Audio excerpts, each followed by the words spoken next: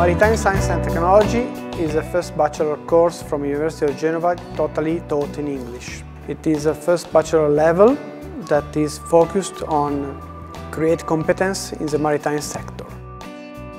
I'm Victoria, I'm attending uh, the engine curriculum of Maritime Science and Technology. Last year I'm uh, graduated from the Nautical Institute. I decided to join this course because I want to improve my knowledge as an engineer officer. I'm Luca. I'm a student of the curriculum in Maritime Science and Technology here at UNIGE. I'm currently employed as deck officer on board cruise ships and I decided to join this course because I'm interested into the managerial preparation of the STCW requirements that this course is offering.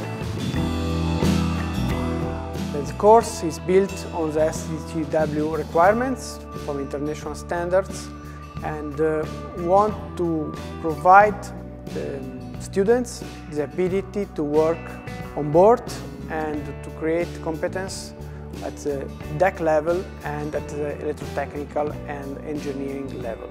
Before graduating after taking all the classes, we will have on-board training up to six months. I'm looking forward for this experience because I want to put in practice my theoretical knowledge.